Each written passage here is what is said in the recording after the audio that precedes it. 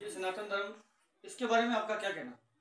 देखिए सनातन धर्म का प्रतीक है श्री ओम।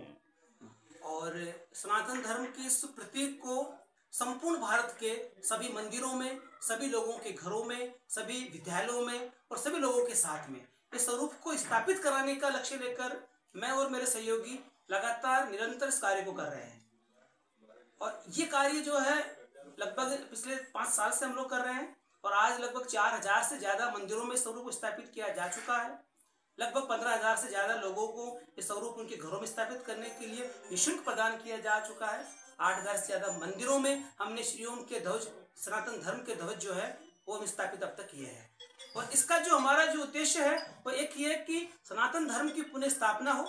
सनातन धर्म जो हम धीरे धीरे भूलते जा रहे हैं, हम इस सनातन धर्म को पुनः स्थापित कर सनातन धर्म को वापस लाए सनातन सत्य और धर्म के मार्ग को वापस लाए। और सर श्री ओम का क्या मतलब है? जो उसमें दो श्री ओम ओम है। और श्री इसका सर स्वरूप। देखिए हमें ओम ओम ओम जो है भगवान शिव जो है वो ओमकार है निराकार है। हम उन्हें हर रूप में जानते हैं। लेकिन श्री के बारे में जब बात आती है तो लोग बोलते हैं या सभी लोगों का मत होता है कि श्री के बारे में आप हमें बताइए श्री क्या है? श्री का मतलब है माँ शक्ति।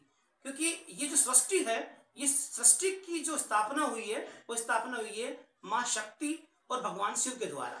तो श्री को हम माँ शक्ति के रूप में लेंगे ताकि हम शक्ति और भगवान शिव को एक साथ पूछ सकें और हम सनातन के मार्ग पर चल के हम हमारे जीवन के जो उद्देश्य है उनको पूरा कर सके।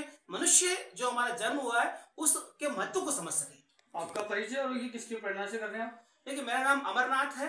और मेरे जो सतगुरु महाराज है, उनकी सत्प्रेरणा से और लगभग दस साल पहले मुझे इसका दृष्टान हुआ कि मुझे सनातन धर्म के लिए कुछ करना है। गुरु महाराज का आशीर्वाद मुझे रहा कि उन्होंने मुझे इस योग्य समझा।